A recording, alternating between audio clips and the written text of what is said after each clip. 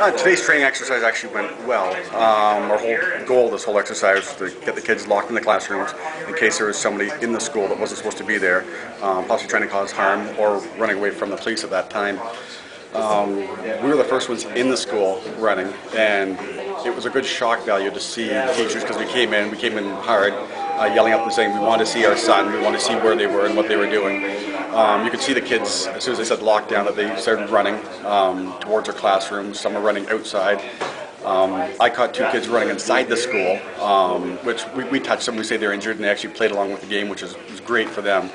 Um, we did all the hallways, we checked all the doors, banging on the doors, yelling, yelling for the, the kid we were looking for.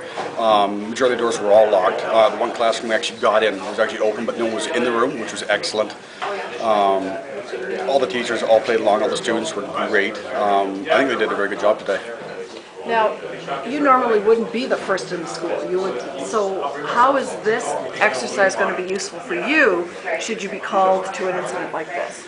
You realize how fast it can happen, and how time is of the essence to get down there, and all the critical information that you get right off the bat about who, what, where, when, and how, and what they look like, um, really helps us as police officers when we go to a situation like this.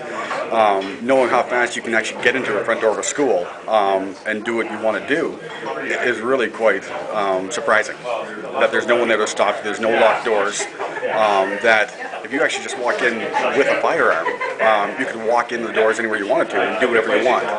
Um, so being teachers being vigilant to who's coming in, and going out of the schools um, is actually great. Uh, keeping them on their toes like that also. Yeah, because that's not experience. You would normally, like you, I mean, you probably would have a sense of that, but wouldn't necessarily know it when the boots are hitting the ground, exactly how fast things can happen. Yes, it's quite surprising how fast things can happen. Including police, police officers, we're on the road, we're taking calls, we're, we're dealing with other people possibly at the time, so we get a call to come to school like this, um, and you hear that there's a person in a school that's possibly causing problems. Our first response is to get there as fast as we can to protect the children and protect the teachers of what's going on. Uh, to protect life is one of our main things that we want to do. Um, so giving the information that we need as soon as we can from the teachers at the school is a great benefit to us.